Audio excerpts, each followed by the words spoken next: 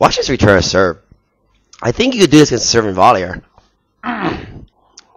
It's really high on me. Even though I'm in, it gets really high. I hit shoulder height, so I roll it back. But if I was serving volleying, that would be a really high backhand volley. So think about that when you play a serving volley with kick serve.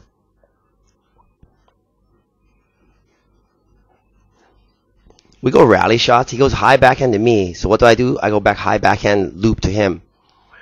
This might be a good time to sneak in. Because look at this high backhand loop.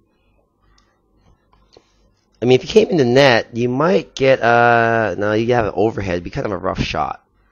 But something to think about. You mix it up, hit high loop and come in behind it and see what they do. That used to be a staple of my game. With short ball, I go for a drive instead of a slice. It should be a low slice. You want them to pick the ball up and try to lift it past you. Well, I think my opponent doesn't like high balls, so I'm going high on him again. And he's really far behind the court, so you close in and you angle.